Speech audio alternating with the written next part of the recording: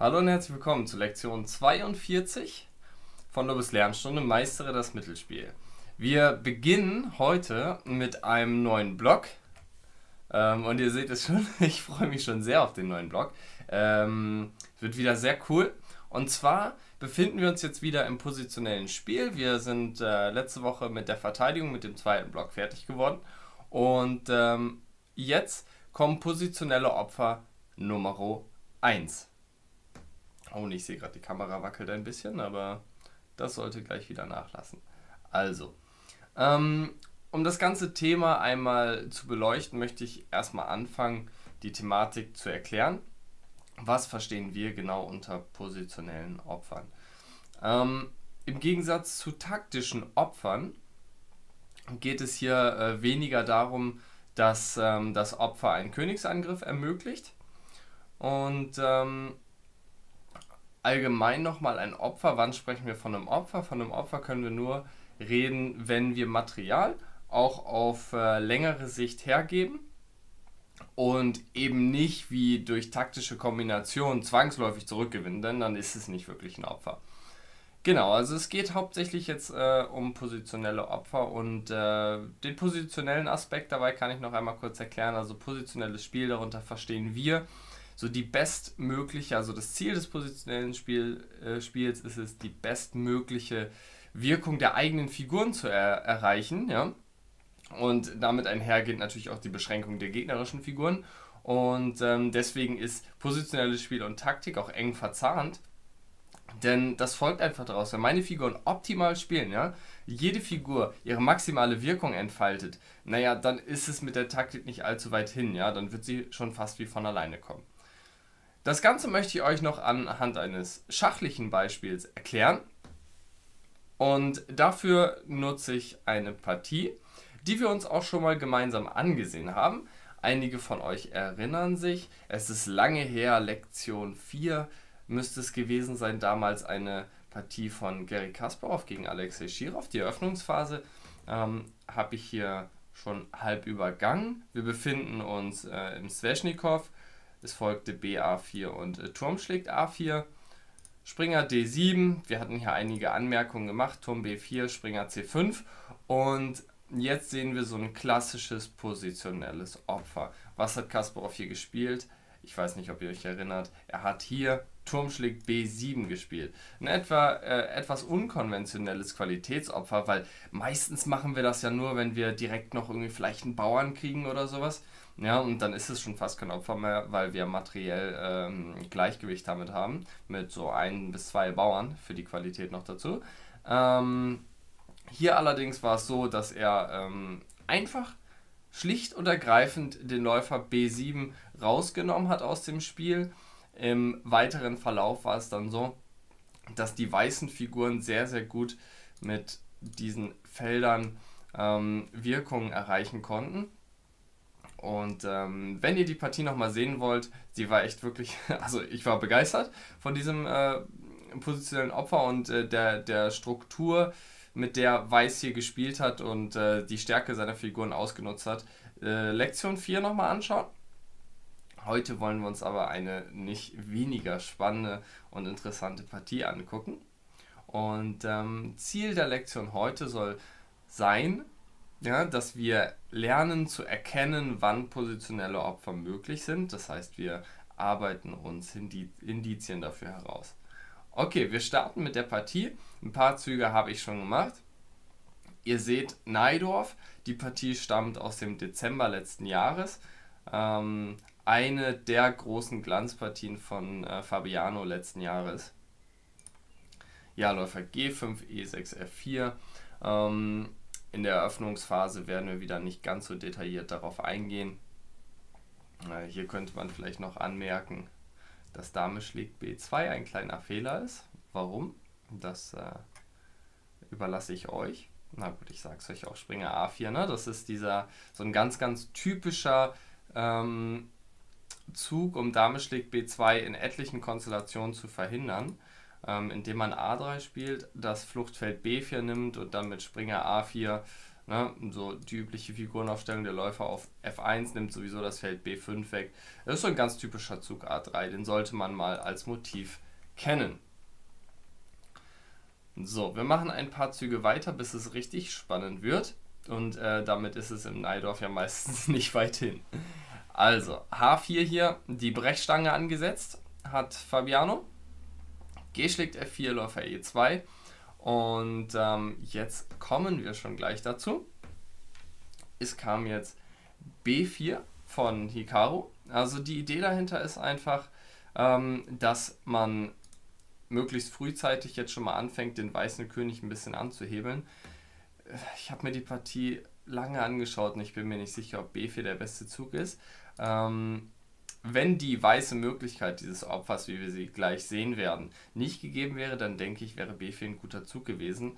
Ähm, deswegen unter praktischen Gesichtspunkten gefällt mir B4 eigentlich ganz gut, denn nach A schlägt B4 ähm, im weiteren Verlauf. Ich meine, man muss ja auch immer sich Ziele setzen. Es ist ja so, Schwarz sagt sich, okay, ich werde nicht matt gesetzt oder ähnliches und suche mir dann mein Angriffsspiel am Königsflügel und ähm, das kann man dann irgendwann machen, indem man zum Beispiel Turm B8 spielt oder ähm, den Bauern anderweitig angreift. Vielleicht auch mal A5 und durch das frühzeitige B4, durch das Opfer B4 ist es halt so, dass Weiß nicht mehr die Möglichkeit hat, äh, im rechten Moment, wenn es denn droht, B4 zu verhindern, zum Beispiel jetzt einfach mit Zügen wie Springer A2, sodass B4 dann überhaupt nicht mehr möglich ist. Diese Möglichkeit hat Schwarz dem Weißen einfach genommen. Okay, es folgt Springer E5, äh, auch ein sehr, sehr logischer Zug. Greift die Dame an, zentralisiert den Springer, bringt die Entwicklung ein bisschen voran. Dame schlägt F4, Springer schlägt G4. Ja, getragen von diesem taktischen Motiv E5 äh, wird der Springer auf G4 nochmal überdeckt. Es kommt Läufer, schlägt G4, E5 und ähm, jetzt wäre es so an der Zeit, wenn ihr diese Partie nicht kennt. Mm, ihr habt sicherlich schon gemerkt, ja, ich antworte gar nicht auf eure Fragen im Chat. Ich muss euch ein Geständnis machen. Heute wird die Lernstunde nicht live abgehalten, ähm, sondern wir haben es voraufgezeichnet. Denn äh, im Moment befinden wir uns in Griechenland und nehmen an der griechischen Meisterschaft teil. Äh, auch dafür könnt ihr gerne uns auf unserer Homepage besuchen. Wir werden fleißig Berichte schreiben und euch erzählen, wie es vor Ort läuft. Ähm, zurück zu dieser Stellung, also ihr könnt ruhig anders als in den Live-Shows jetzt wirklich auch das Video einmal pausieren und euch mal Gedanken darüber machen, was Weiß hier spielen könnte. Ja, und wenn ihr denn ein bisschen euch diese sehr, sehr schwachen Felder, ja, der G-Bauer ist weg und diese Bau, äh, beiden Bauern, der C-Bauer komplett weg, der E-Bauer schon so weit vorgezogen, dass die Felder D5 und F5 äußerst schwach sind. Und ähm, das ist eine der Hauptbegründungen an dieser Stelle, warum das nachfolgende Opfer denn eventuell möglich sein könnte. Dame schlägt F6. Bam! Also es knallt einfach auf F6. Ähm, wahrscheinlich sind Hikaru hier, weiß ich nicht, die, äh, die ist die Kinnlade runtergeknallt. Denn ähm, wir, sehen relativ eindeutig, Läufer F6, äh, Springer D5, Dame D8. Logisch, wir decken F6, ja. Ähm, wir sehen recht eindeutig, dass es hier nicht zu weiterem Materialgewinn von Weiß kommt. Also es ist tatsächlich so, dass Weiß an dieser Stelle lediglich zwei Springer und einen Bauern für eine Dame hat. Und ihr alle kennt das Zählsystem, womit wir unser, unsere, ja, unsere Schachausbildung beginnen. Wir ordnen den Figuren Werte zu und ähm, Springer ist in der Regel 3 Punkte wert, eine Dame 9 oder 10, je nach, je nach Schule, sage ich jetzt mal, wo man, wo man gelernt hat, ähm, ist eine Dame 9 bis 10 Punkte wert. Das heißt, rein auf der Punkteskala können wir schon mal definitiv festhalten, Weiß hat hier Material geopfert. Und ähm, wir sehen, der Springer auf D5 ist sehr schön, aber der F6, der Läufer F6 ist gedeckt. Eigentlich hält Schwarz die Stellung ganz gut zusammen. Und deswegen ist es an der Zeit, ein bisschen tiefer in die Partie einzusteigen und uns mal anzuschauen, warum so ein Opfer gerechtfertigt sein kann. Okay, wir müssen auch erstmal handeln. Ja? Also der Springer auf D4 hängt. Und jetzt stellt sich natürlich schon eine der ersten Fragen. Nehmen wir auf F8 raus oder unternehmen wir anderes, um den drohenden Figurenverlust hier zu verhindern? Und gespielt wurde Springer F5. Meiner Meinung nach ist das auch ein sehr guter Zug, denn wir dürfen eins nicht aus den Augen verlieren. Wir haben dieses materielle Ungleichgewicht geschaffen ja, ähm, und haben jetzt sozusagen, ich äh, grob überschlagen, jetzt können wir einfach mal durchzählen, 5, 10, 11, 12, 13, 14, 15, 15 plus 6, 21. Ja, Läufer sagt man ja mal so dreieinhalb Punkte, also nochmal 7 drauf, 28, 28 Figurenpunkte bei Weiß, ja und ähm, bei Schwarz grob überschlagen ein bisschen mehr.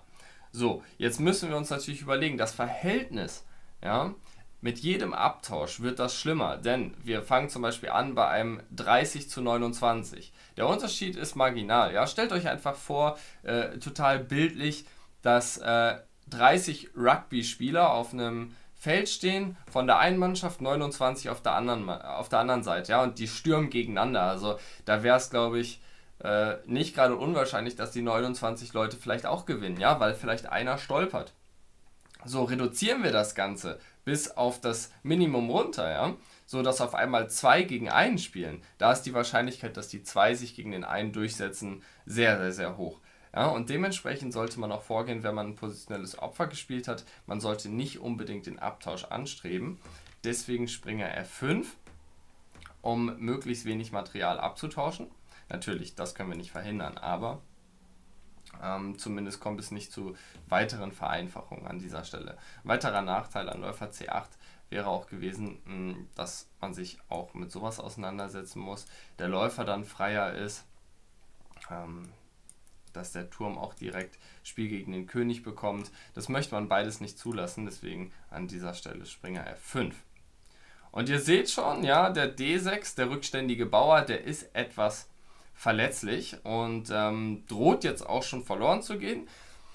Manko äh, an der ganzen Geschichte ist, ihr seht das schon, wir haben nach Springersteg D6, Damensteg D6 keinen vernünftigen Abzug mit dem Springer, ja, denn egal wo wir äh, abziehen, Springersteg F6 zum Beispiel, Springer C7, die Dame kann sich immer, äh, kann den Springer immer nehmen, das heißt, wir können keinen weiteren Gewinn daraus ziehen, ähm, aber dann doch zumindest die Drohung Springersteg F6 mit anschließendem Schlagen auf D6.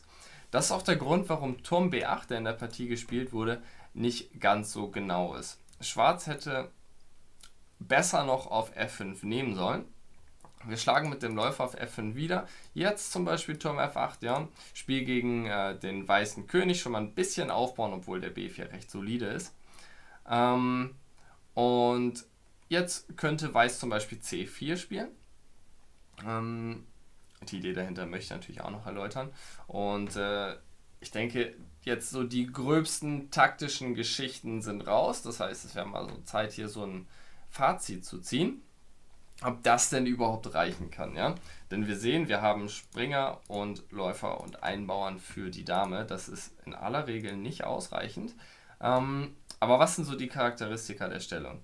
Also, wir können zunächst mal festhalten, es gibt nur eine offene Linie ja. Und diese offene Linie ist tendenziell eher für Weiß zu besetzen. Denn der König ist in der Mitte, die Türme sind nicht verbunden von Schwarz. Und ähm, wenn er kurz rochiert, eine andere Möglichkeit hätte er ja nicht, dann ist es auch in der Folge erstmal schwierig für Schwarz die G-Linie zu besetzen. Das heißt, das ist schon mal ein Pluspunkt. Dann prüfen wir die halboffenen Linien. Ja. Schwarz hat hier zwei halboffene Linien. Davon können wir festhalten, der Bauer B4 ist sehr, sehr gut gedeckt durch den starken Springer auf D5. Dort wird keine Gefahr drohen. Und auf der C-Linie, naja, erstmal muss Schwarz die auch besetzen, was ihm sehr schwer fällt bei dieser Kontrolle der wichtigen Felder. Und äh, weiterhin wäre wahrscheinlich auch nach B3 der Bauer auf C4 so eine mächtige Blockadefigur, dass Schwarz nicht wirklich vorankommt. Ja, was hat Weiß stattdessen? Weiß hat einen grandiosen Springer, der in die Stellung des Schwarzen reinschaut. Einen wirklich grandiosen Läufer, der hier wichtige Felder kontrolliert und äh, den König beschränkt. auch in seiner Entwicklung. Und wir haben einen potenziell starken Läufer, der immer mal Richtung Königsangriff schwenken kann. Und ähm, ja, was haben wir noch? Wir müssen auch auf der Gegenseite noch festhalten, nicht nur die starken weißen Figuren machen das Gegenspiel an dieser Stelle aus und ähm, haben dieses Opfer ein Stück weit ermöglicht. Auch die schwierige Koordination bei Schwarz. Ja, ihr seht, die Dame ist gebunden und äh, deckt den Läufer auf F6. Der Läufer auf F6 schaut gegen seine eigenen Bauern. Ähm, das heißt, es ist auch für ihn recht schwierig, eine Wirkungsweise zu entfalten. Und ähm, was zur Dame noch ganz interessant ist, äh, stellt euch doch mal vor, der Läufer wäre weg, diese Aufgabe des Deckens erledigt. Wo würde die schwarze Dame denn überhaupt hingehen? Ne? Also alle Felder sind von Weiß kontrolliert. Ja, Dementsprechend diese Stellung wahrscheinlich etwas aussichtsreicher für Weiß, aber wir dürfen natürlich auch nicht die Gefahr unterschätzen und die ist ähm, allgegenwärtig, denn sobald es zu ein paar Abtäuschen kommt, ja, sei es, dass Schwarz es mal schafft, auf der G-Linie alle Schwerfiguren runterzutauschen und ähm, dann die Dame ins Spiel zu bringen, dann hat Weiß ein Problem. Ja, stellt euch mal vor, die Türme sind runter und ähm, dann haben wir schon direkt akutes Problem. Was machen wir mit dem Bauern H4? Ziehen wir ihn vor nach H5, dann könnte Läufer G7 kommen und dann in der Folge Dame G5. Die schwarze Dame infiltriert auf einmal das weiße, äh, das weiße Geschehen hier oder die weiße Stellung. Ähm, und wenn der H-Bauer verloren geht, sowas genügt schon. Ein verlorener H-Bauer für Weiß. Und äh, wir befinden uns ja schon fast im Endspiel dann. Und der gegnerische Harbor mit Unterstützung der Dame kommt sehr, sehr weit, beziehungsweise geht vielleicht sogar durch. Ähm, es sei denn, wir stellen alle Figuren dafür ab, bringen zum Beispiel den Springer nach H3. Dann haben wir das Problem, dass die Deckung für unsere restlichen Figuren fehlt. Also sehr interessante Stellung, vermutlich aber hier besser für Weiß. Ja, Hikaru hat direkt Turm B8 gemacht, um äh, so eine Züge wie Läufer B6, Springer C7 zu verhindern. Ähm, das Ganze hat aber den Nachteil, dass Springer schlägt F6 jetzt möglich ist, mit anschließendem Nehmen auf D6. Ähm, ja, natürlich ist es dann immer so ein bisschen so ein Zwiespalt. Ja, ich kann das schon verstehen, dass also Nakamura ist einer der stärksten Taktiker äh, dieser Welt. Gut, viele andere Welten gibt es wahrscheinlich nicht, aber das ist jetzt eine andere Frage. Ähm, warum hat er das übersehen? Ich denke, er hat es nicht übersehen.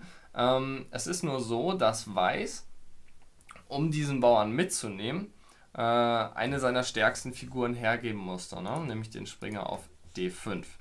Das heißt, diese Möglichkeit für Schwarz unter Opfern, ja, gegen Opfer von Material, ähm, eine Stellungsverbesserung herbeizuführen, die müssen wir immer beachten. Hier zum Beispiel mit Turm B8 und sagt, okay, dann bedien dich doch auf F6 ähm, du bekommst den D6, dafür werde ich jetzt etwas freier. Ne? Nach Turm schlägt D6 von Fabiano kommt Läufer E6. Und naja, es sieht doch zumindest schon wie eine Erleichterung für Schwarz aus, auch wenn die Dame auf F6 jetzt noch keine Granate ist. Da möchte ich aber noch ganz kurz anfügen, dass es eine sehr, sehr interessante andere Möglichkeit gegeben hätte zu spielen, die nicht allzu leicht zu entdecken ist. Ähm, ich möchte sie euch aber nicht vorenthalten. Springer schlägt D6 wäre hier sehr stark gewesen. König E7. Und ähm, vielleicht sollten wir einmal festhalten, also das Nehmen auf C8, das dürfte eher nix sein. Ja, je nachdem, wenn wir mit dem Läufer nehmen, äh, könnte zum Beispiel Dame schlägt F2 kommen. Und ähm, auf einmal fehlt dieser feste Grip in der, in der weißen Stellung, dass Schwarz sich nicht mehr regen kann. Ne? ganz kurz, sowas müsst ihr immer berechnen. Ne? Das müsst ihr machen, denn ähm, wir haben Material gegeben. Das heißt, Schwarz kann jederzeit, ähm, oder wir müssen jederzeit damit rechnen, dass der Gegner unter Materialopfer ähm, seine Stellung transformiert, wieder in eine normale. Es geht an dieser Stelle aber nicht, aber wir sollten es trotzdem prüfen. Läufer C5, ich denke, es ist offensichtlich. Ähm, der Bauer auf A6 hängt, der H6 ist schwach, der König ist immer noch in der Mitte, man hat einen Bauern mehr. Dass diese Stellung vorteilhaft ist für Weiß, aber bitte vergesst nicht, das immer zu prüfen, wenn ihr Material geopfert habt. Ähm, bevor wir uns die Hauptvariante angucken, eben noch die Nebenvarianten. König F8. Hier ein ja schon auch etwas schwieriger zu sehender Zug für Weiß. Ne, wir haben das Problem, dass äh, der Läufer auf F2 hängt, der Läufer auf G4 hängt. Wir wollen möglichst wenig Material äh, abtauschen. Und äh, Läufer F5 ist hier ein sehr, sehr starker Zug, denn er zwingt wiederum, er gibt äh, das, äh, den, das, den Zug wieder ab an Schwarz, sagt, okay, der F2 hängt nicht mehr. Es kommt gleich Läufer äh, C5 und dann Läufer auf C8, der hängt auch, also musst du erstmal was machen. Läufer schlägt F5, ist die logische Konsequenz. Und ähm, der Befreiungsversuch von Schwarz, jetzt mal schnell ein bisschen Material runterzubringen mit Turm D8, der äh, geht nicht so gut, denn wir können einfach rausnehmen und Turm D1 spielen. Jetzt können wir schon festhalten, wenn äh, die Dame nicht nach F6 geht, ja, sondern zum Beispiel nach C7, dann kommt Läufer C5 Schach und Schwarz hat hier ein Problem mit Matt auf G7. Deswegen einziger Zug für Schwarz an der Stelle, Dame F6, um in der gleichen Variante Läufer C5, dass man auf Turm G7 mit Dame schlägt G7 reagieren könnte. Vom Materialverhältnis Dame gegen Turm und Springer hätte Schwarz dann eine Qualität mehr. Dame F6 und äh, hier kann man aber mit Turm D6 zum Beispiel die Dame gewinnen, denn wie ihr seht hat sie keine weiteren Felder, spielt, spielt dann mit zwei Figuren gegen den Turm. Tatsächlich ist es aber so, und das finde ich auch so beeindruckend an dieser Stellung, man hat diesen Springer auf F5 und das Zusammenspiel der weißen Figuren harmoniert so gut, dass man irgendwas machen kann die Frage ist doch, was würde Schwarz denn überhaupt tun, wenn er am Zug wäre, ja? Wenn ihr beliebig, was weiß ich, C3 spielt, C4 spielt, was kommt denn dann? Schwarz ist am Zug, aber er kann Turm D6 nicht verhindern. Ah, Turm G8 bringt dagegen nichts, kann Turm D6 kommen. Das heißt, wir können hier sogar unsere Stellung verbessern, bevor wir uns das Material zurückholen. Kommen wir aber wieder zum äh, komplizierten Part, nämlich König E7. Und hier hätte Fabiano eine recht lange Variante berechnen müssen, um Springer schlägt D6 zu rechtfertigen. Hier geht es weiter mit Läufer C5. Okay, wir fragen uns zurecht, was wird hier gedroht? Wenn zum Beispiel Läufer G4 kommt, das ist einmal der erste Schritt. Wir müssen Drohungen analysieren und die Züge dementsprechend verstehen. Ähm, hier ist es noch relativ einfach. Wir haben Springer B5, König E6 wird mit Turm D6 matt beantwortet und König E8 mit Springer C7 matt. Okay, erster Schritt. Ja? Wir haben Läufer schlägt G4, den Hauptzug ausgeschlossen. So, dadurch, dass das hier so ein, äh, eine Matt in der Mitte werden könnte, ähm, müssen wir auf jeden Fall Dame F4 noch in Betracht ziehen, denn danach hatte, hätte der König auf F6 immer ein Fluchtfeld. Okay, König B1 ist mehr oder weniger erzwungen, Dame schlägt G4. Ebenso, wenn diese Variante irgendeinen Sinn ergeben soll für Schwarz. Und es geht weiter mit Springer schlägt C8 Schach. Ähm, dieses Springer B5, Springer C7 funktioniert hier nicht, weil der König über F6 flieht. Hier wäre König F6 aber nicht so gut, weil er einfach nur einen weiteren Turm mit äh, ins Spiel holt. Deswegen König E8 an der Stelle. Springer D6 Schach, König D8. Und ähm, weiter geht das Ganze in einer recht komplizierten Variante, denn vom Materialverhältnis äh, hat sich ein bisschen was getan. Wir haben jetzt Turm und Springer gegen Dame, dafür einige schwache Felder. Ähm, aber begründet ist die ganze Variante am Ende eigentlich mit Springer D7, greift den Turm an und diese Stellung sollte wohl recht, recht aussichtsreich sein für Weiß, weil Schwarz einen recht schwachen König hat. Man hat einen Bauern mehr, zwei Türme für die Dame. Ähm, wäre wohl der einfachere Weg gewesen für Fabiano an der Stelle. Jetzt möchte ich aber doch noch einmal zusammenkriegen für euch, warum ich hier König D8 als Hauptzug hatte. Genau, ja, wenn jetzt wieder König E7 kommt, dann können wir unsere Stellung verbessern mit Springer B5 Schach. Hm, und wenn er jetzt über F6 weggeht mit Turm F1 und Turm G1 und wir haben diese Figur mehr, die wir gerade auf C8 genommen haben, deswegen geht das Ganze für Schwarz auch nicht auf. Ja, zum Beispiel so. Er muss sich entscheiden, ob er auf G1 nimmt, was er tut. Auf jeden Fall behalten wir mindestens zwei Figuren für den Turm und ähm, sind vom Materialverhältnis wieder oben auf. So, also, ja, dieses sehr, sehr schöne Läufer C5, das hätte man ja, in, in, in dieser ganzen Konsequenz halt ähm, sehen müssen, was nicht einfach war. Aber Turm schlägt D6 ist jetzt auch kein grausamer Zug, also so schlecht ist er nicht. Läufer E6 und ähm, Fabiano spielt wieder den menschlichen Zug. Er spielt diese Stellung sehr menschlich, was ja nicht verkehrt ist. Ähm, kleine Verbesserungsmöglichkeiten wären drin gewesen. Naja, was wäre der menschliche Zug an dieser Stelle gewesen? Ähm, ich denke, Turm, Turm nach D1 ist relativ offensichtlich. Ne? Wir verhindern Züge wie Turm D8, ähm, gehen auf die offene Linie, kontrollieren sie und Schwarz bleibt, äh, bleibt zumindest mit solchen Zügen, äh, kann, kann, er nicht machen. Und ähm, ja, der Zug war auch nicht verkehrt, also nicht wirklich schlecht. Ähm, Läufer E6 wäre in der Konsequenz ein klein bisschen besser gewesen. Der Grund ist eigentlich der, dass ähm, nach Turm HD1 Partieverlauf Schwarz rochieren kann und äh, hier hätte man die Rochade noch effektiver rausnehmen können. Ne, auf Rochade, ich meine jetzt Springer schlägt H6, König H8, Springer schlägt F7. Ja, der nächste Kracherzug eigentlich äh, folgt direkt und ähm, nachdem Schwarz auf F7 wieder nimmt, Läufer F7 kommt äh, Dame, äh, Turm schlägt F6. Es geht auch nicht gut. Hat äh, Schwarz hier das Problem, dass ein Mattnetz aufgebaut wird.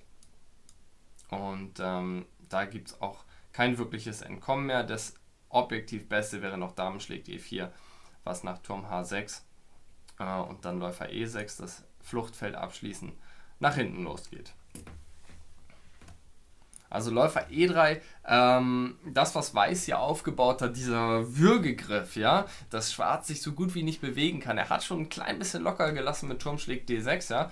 Äh, vom Gefühl hier her, der Läufer auf E6, ähm, die Dame auf F6. Schwarz fühlt sich schon ein bisschen wohler als noch ein paar Züge vorher, aber ähm, dennoch Läufer E3 mit Verhinderung der Rochade hätte ähm, das Ganze noch ganz nett weitergehalten. Aber Turm HD1, Rochade, ähm, jetzt wiederum ein, ein sehr, sehr netter Zug von Weiß. Da müssen wir uns überlegen, wir wollen alle Figuren mitspielen lassen.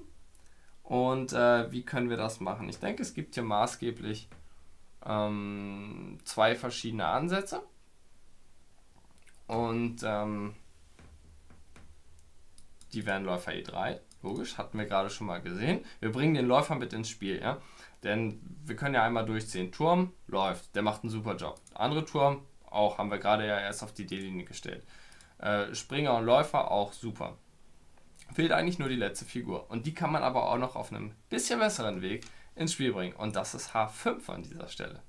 Mit der Drohung Läufer H4 und der absoluten Kontrolle hier. Die Dame wird auch nochmal verjagt. Und ähm, ja, hier ist es schon ein bisschen schwieriger für Schwarz zu reagieren und der objektiv beste Weg, ja, ich kann verstehen, den hätte man nicht wirklich spielen wollen. Ähm, erinnert nichts daran, dass er trotzdem besser gewesen wäre. Äh, wäre Turm F nach E8 gewesen, sich darauf einlassen, Läufer H4, Dame H8 und jetzt zum Beispiel ein Zug wie H3, äh, C3. Mal das Schlagen auf B4 dauerhaft unterbinden und ähm, drückt einfach mal auf Pause, schaut euch diese Stellung ein bisschen an. Ähm, diese Dame auf H8, okay, es ist wirklich traurig.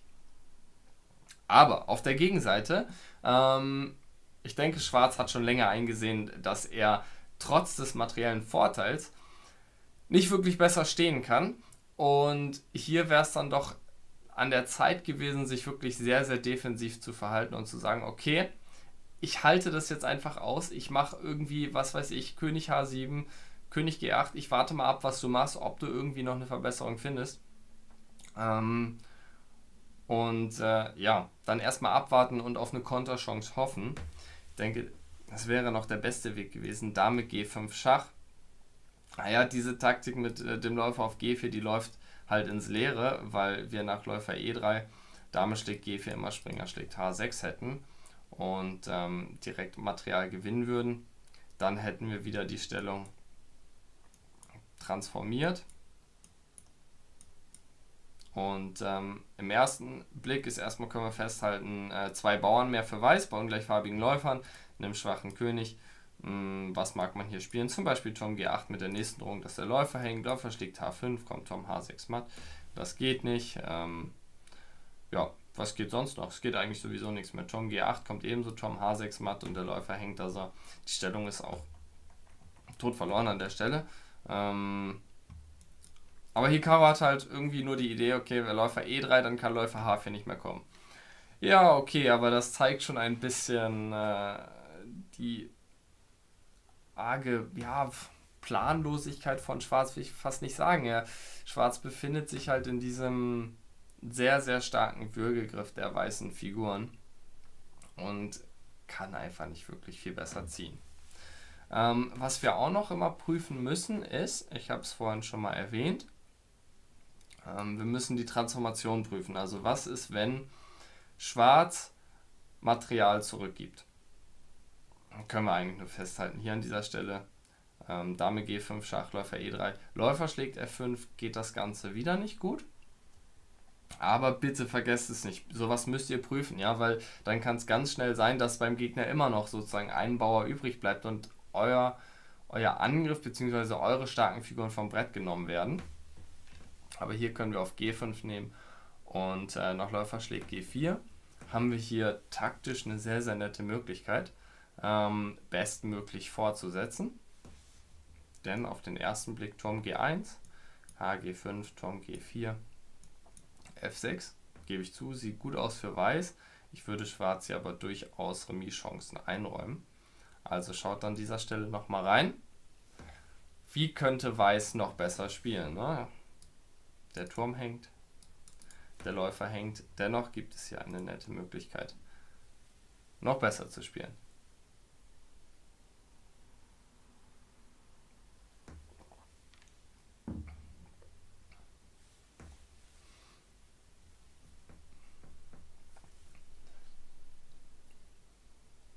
So, und ihr habt es mittlerweile sicherlich entdeckt. Ansonsten pausiert nochmal ganz kurz. Das ist eine nette, kleine, feine Taktik, ähm, die man auf dem Schirm haben sollte. Und zwar Turm schlägt H6 an dieser Stelle. Ja?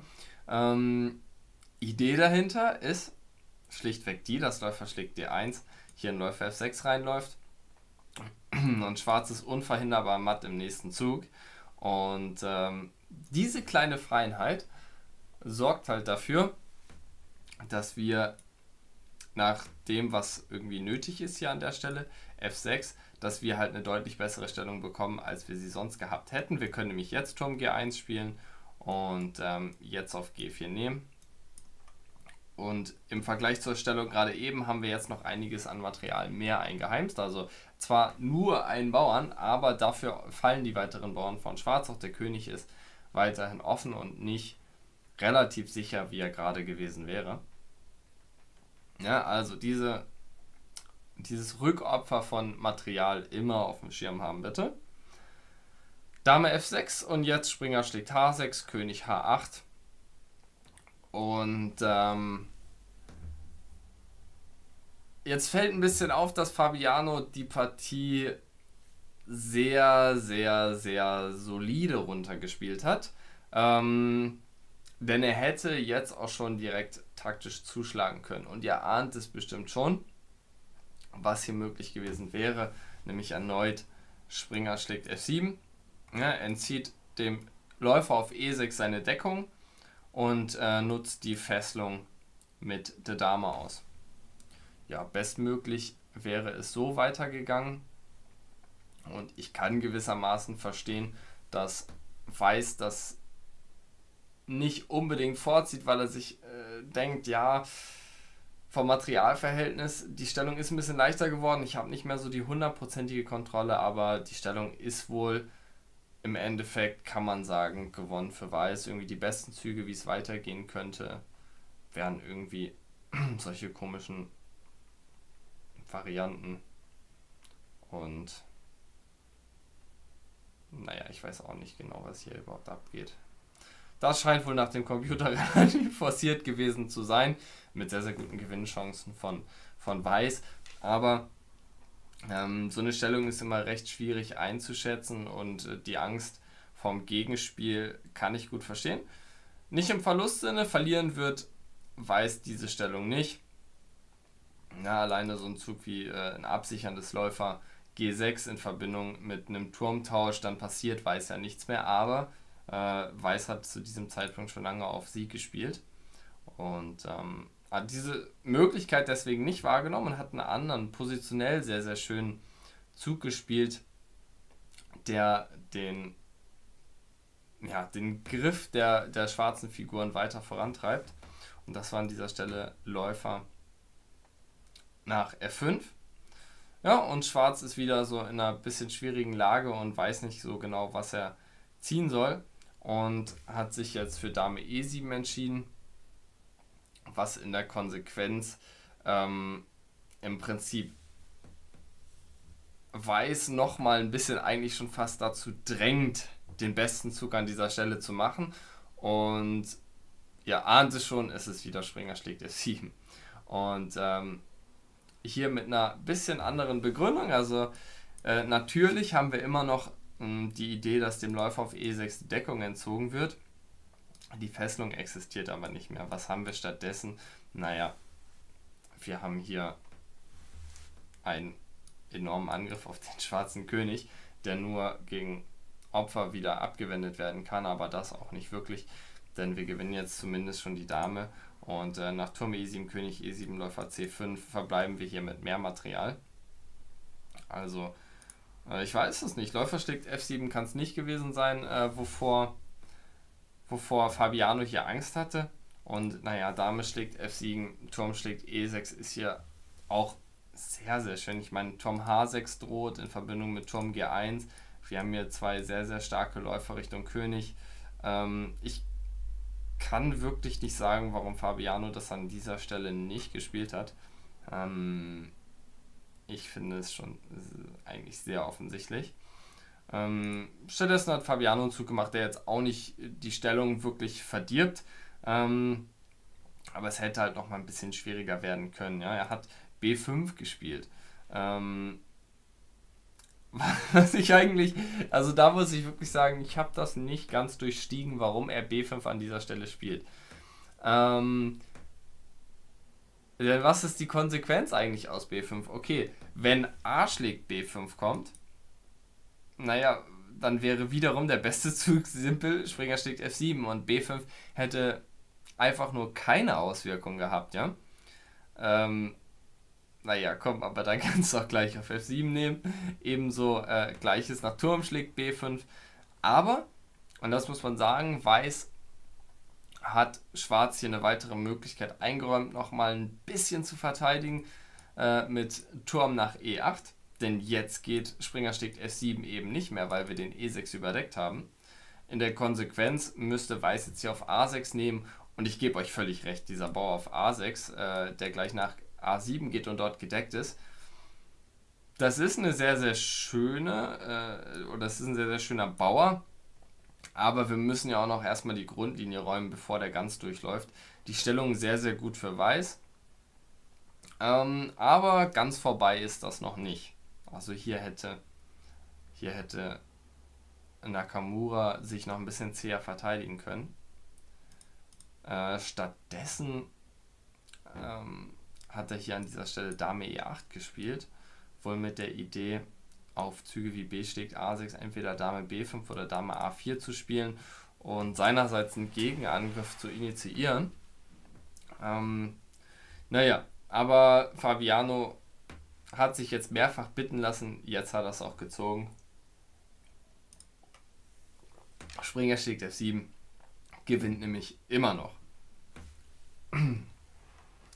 Es kommt Turm schlägt F7 und äh, Turm schlägt E6. Die Dame ist angegriffen. Dame schlägt B5. Ähm, Schwarz stellt in dieser Partie eine gewichtige Drohung auf.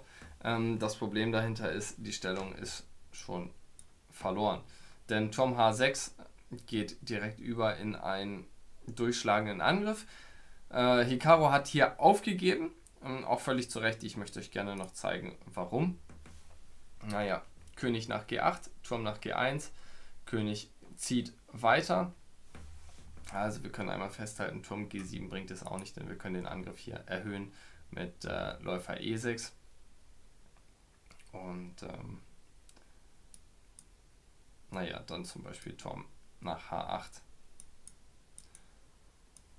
Und das geht auch nach hinten los. Nach König F8 ebenso Turm H8. Jetzt bedienen wir uns auf B8 und jetzt der sehr, sehr starke Zug Läufer C5 Schach. Ihr seht es schon, diese Läufer sind sehr, sehr lästig. König F6 hm, läuft in Turm G6 rein. Deswegen muss schon fast König nach D8 kommen. Und jetzt haben wir aber hier die Möglichkeit mit Läufer D6 noch zwischenzuziehen und ähm, nur eine Figur für die Dame zu geben und dann bleiben wir mit äh, Läufer und zwei Bauern mehr übrig. Deswegen hat Hikaru hier an dieser Stelle aufgegeben. Ja, ist es Zeit, so ein kleines Fazit zu ziehen und nochmal so ein bisschen an Anfang zu gehen und zu sagen, okay, wir versuchen uns Indizien rauszuarbeiten, wie können wir selber positionelle Opfer erkennen. Und ein ganz, ganz großer Punkt, der sich durch die komplette Partie gezogen hat, ist eigentlich der, lass uns nochmal zurück an diese Stelle gehen. Ein ganz, ganz großer Punkt, der sich durch die ganze Partie gezogen hat, ist, wenn wir einmal durchzählen, ja, auf der einen Seite Materialverhältnis, auf der anderen Seite Wirkung der Figuren, ja. Wir können festhalten, ähm, ab dieser Stellung hat Weiß vom reinen Materialverhältnis weniger Figuren. Aber ähm, die Wirkungsweise der einzelnen Figuren war im Laufe der ganzen Partie auf weißer Seite viel, viel stärker. Das heißt, ein erstes Indiz wäre, die Figuren, die auf dem Brett verbleiben, auch wenn es weniger insgesamt sind, die sind so stark, dass sie mehr kontrollieren als die gegnerischen Figuren. Erster Punkt. Zweiter Punkt an der Stelle, sehr, sehr großer Dreh- und Angelpunkt dieser Partie waren die Felder D5 und F5. Das heißt, gerade wenn wir, wenn wir äh, Schwerfiguren, Dame oder Türme opfern gegen Leichtfiguren, sei es eine oder mehr, ja, dann wird das enorm dadurch begünstigt, dass wir Vorposten für unsere Figuren haben. Ja, wir müssen Posten haben, wo sie unvertreibbar sind, wo sie sehr, sehr stark sind und auch nicht eingeschränkt werden können in ihrer Wirkung, weil dem Gegner die entsprechenden Figuren dazu fehlen. Ja. Er hat hier nicht die Möglichkeit, die Springer F5 und D5 komplett aus der Stellung zu nehmen. Ja, er hätte hier rausnehmen können, aber er hätte sich ein Leben lang mit diesen sehr, sehr starken Leichtfiguren auseinandersetzen müssen. Genau. Ähm, das Ganze wie immer noch im Fazit, ja, wo ich das so formuliert habe, gute Vorposten und Stützfelder für die eigenen Figuren sind wichtig. Deine Figuren kontrollieren das Brett. Wir haben das sehr, sehr schön gesehen in dieser Partie. Ähm, ich habe selten bei objektiv so viel weniger Material, denn es ist ein recht, äh, recht krasses Opfer, muss man sagen, an dieser Stelle, ähm, gesehen, dass der Gegner so im Würgegriff war wie in dieser Partie. Also Nakamura konnte hier nicht mal atmen, er konnte kaum eine Figur ziehen, weil einfach alles kontrolliert war vom Gegner. Ja? Und ein wichtiges Indiz ist noch, ist eine Vereinfachung möglich oder nicht? Denn wir haben das schon mal ähm, einmal an einer Stelle durchgesprochen, was wäre wenn? Ne? Was ist, wenn die Türme vom Brett kommen würden? Und ähm, das Ganze wäre sehr, sehr riskant, weil, ich habe euch dieses Beispiel mit den Rugby-Spielern genannt, das Materialverhältnis äh, hat höheres Gewicht wenn wir Material vom Brett nehmen. Ja? Und äh, dementsprechend ist es wichtig, um für die Möglichkeit positioneller Opfer, ob dieses, diese Vereinfachung für den Gegner, die Möglichkeit dazu da ist oder nicht. Achso, wo bin ich jetzt in der Verabschiedung? Ich wollte noch mal ins Fazit. Macht nichts. Ja. Ähm, das wäre es grob so zum Einstieg. Wann könnte, wann könnte vielleicht ein positionelles Opfer gegeben sein und eine sehr, sehr schöne Partie von Fabiano, ähm, die mir außerordentlich gut gefallen hat. Ich hoffe euch auch. Und nächste Woche geht es damit weiter. Unser kompletter Themenblock wird sich um positionelle Opfer handeln. Und das war ein vergleichsweise harter Einstieg mit einem Damenopfer, der in der Praxis natürlich auch seltener vorkommt. Deswegen werden wir die anderen gängigen positionellen Opfer in den nächsten Wochen mit euch besprechen. Ähm, nächste Woche noch einmal aufgezeichnet, weil wir immer noch in Griechenland sind, beziehungsweise beim GM und IM-Turnier in Lüneburg. Ähm, danach aber wieder live mit euch gemeinsam. Und wir freuen uns sehr auf diesen Themenblock Positionelles Spiel. Wünschen euch noch einen schönen Montagabend, eine schöne Woche und bis bald.